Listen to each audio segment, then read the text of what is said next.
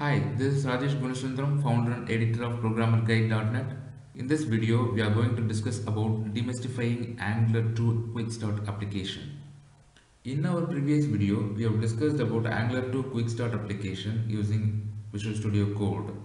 We have followed the guidance provided in 5 minutes quick start guide in angular.io.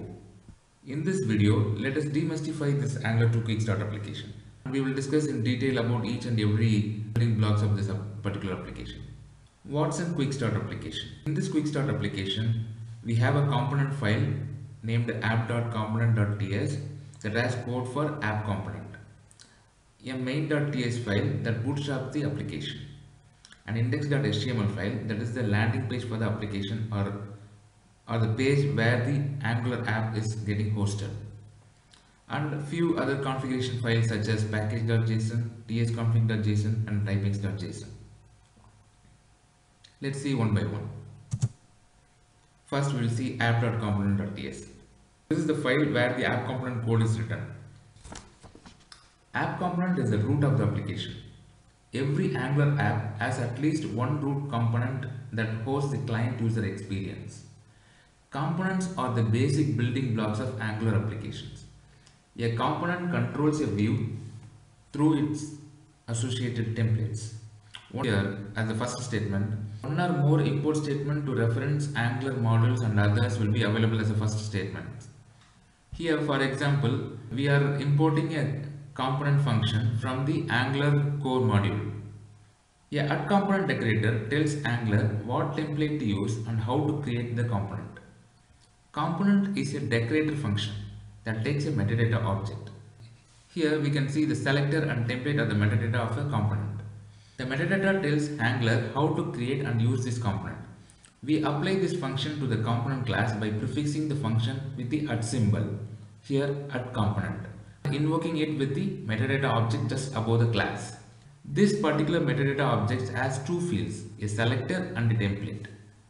The selector specifies a simple CSS selector for an HTML element that represents the component. The element for this component is named my-app. Angular creates and displays an instance of our application component that is app component wherever it encounters a my-app element in the host HTML. The template specifies the component's companion template written in an enhanced form of HTML that tells Angular how to render this component's view. Our template is a single line of HTML announcing my first Angular app. A component class that controls the appearance and behavior of a view through its template.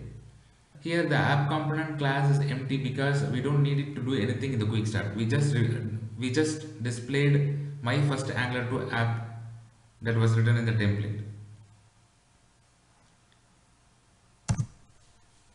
Next, we will see about the main.ts file. In the main.ts file, we import two things we need to launch the application. Angular's browser's bootstrap function, the application root component.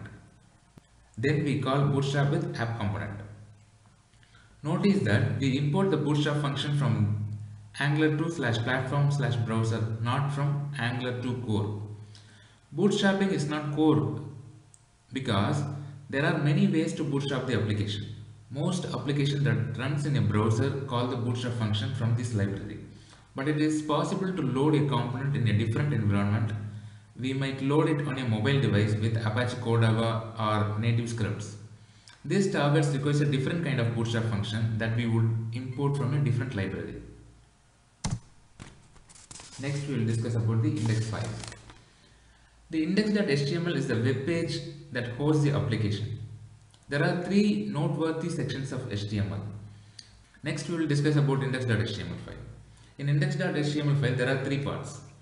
One is referring the JavaScript libraries, another is configuration of system.js and next one is the body tag. First we will discuss about the JavaScript libraries. Let's begin with libraries. Under the head tag we write uh, all the uh, script source references. Next we will see code about configuring system.js. After the configuration of system.js we import and run the main file that we just wrote. Next we will discuss about the body tag in index.html file. Under the body tag, we have a special tag called my-app tag which is where our application lives. Angular calls the bootstrap function in main.ts. It reads the app component metadata, finds the my app selector, locates an element tag named my-app and loads our application between those tags. Next we will discuss about the configuration files. Let's start with package.json.